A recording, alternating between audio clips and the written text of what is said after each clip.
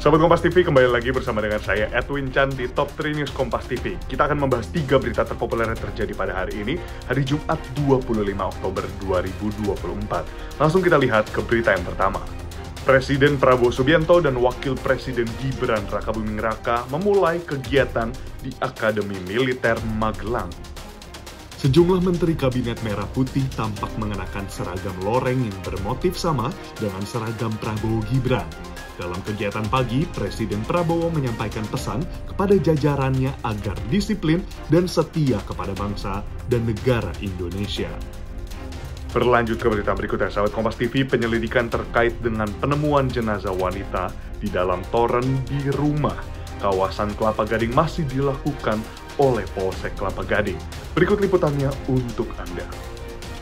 Diketahui korban wanita tersebut berprofesi sebagai asisten rumah tangga di rumah tersebut. Wanita tersebut ditemukan dalam kondisi tidak berpakaian lengkap pada Kamis pagi. Polisi sudah melakukan olah TKP dan telah memeriksa tujuh orang saksi dan menganalisis sejumlah rekaman CCTV sekitar area TKP. Sampai saat ini sudah ada enam saksi, uh, masih ada satu lagi tambahan saksi karena kemarin masih uh, ada kesibukan. Mungkin hari ini kita selesaikan di total tujuh pemeriksaan saksi. Apakah ada keterangan baru, terutama dari saksi utama yakni sopir dari uh, rumah itu?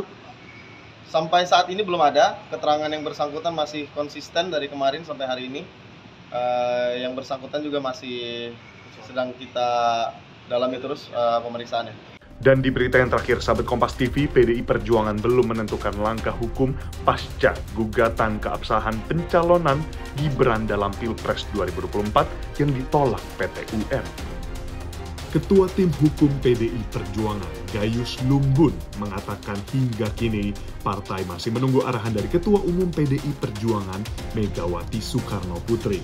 Diketahui, PT UN memutuskan tak menerima gugatan PDI Perjuangan terhadap KPU terkait penetapan hasil Pilpres dan Pileg 2024. Putusan pengadilan, bukan hakimnya, putusan pengadilan. Veritate habitur.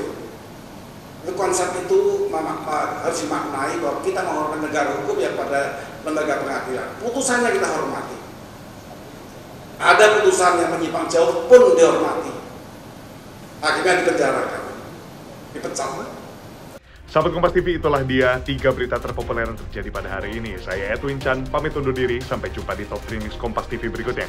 Jangan lupa untuk berikan like, komen, dan juga share berita ini kepada kerabat dan keluarga semua. Dan yang terakhir, jaga kesehatan Anda di mana pun Anda berada. Sampai jumpa, sahabat Kompas TV.